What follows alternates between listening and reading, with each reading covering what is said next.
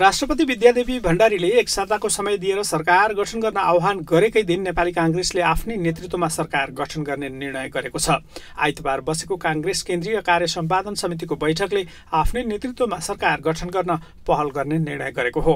जसका लागि काङ्ग्रेसले सत्ता गठबन्धनमा रहेका दलहरूसँगै अन्य दलहरूसँग समेत छलफल अघि बढाउने निर्णय गरेको छ। प्रतिनिधि सभाको निर्वाचनमा पनि हामी ठुलो पार्टीको रूपमा स्थापित भएको भएको छ।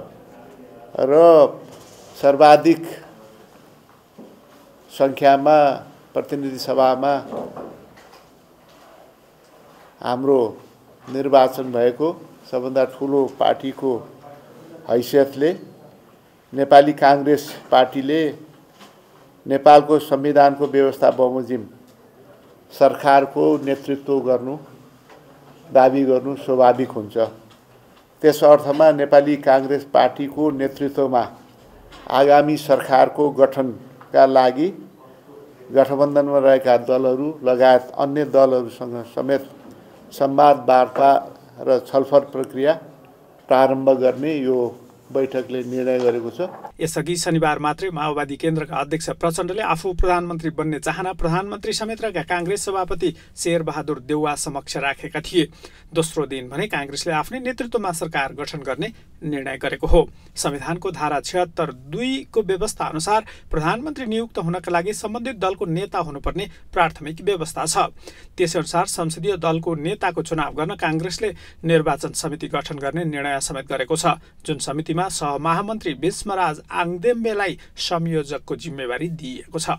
दोस्रो निर्णय संसदीय दलको नेता चयन प्रक्रियालाई अगाडि बढाउनुको लागि तिन सदस्यीय निर्वाचन समिति गठन गरेको छ जसमा केन्द्रीय सहमहामन्त्री भीष्मराज आङदम्बेको संयोजकत्वमा अरू दुईजना सदस्य केन्द्रीय सदस्य पुष्पा भूषालजी र केन्द्रीय सदस्य प्रकाश रसाइलिस नै तिन सदस्य समिति पनि यो कार्य सम्पादन समितिले निर्णय गरेको छ।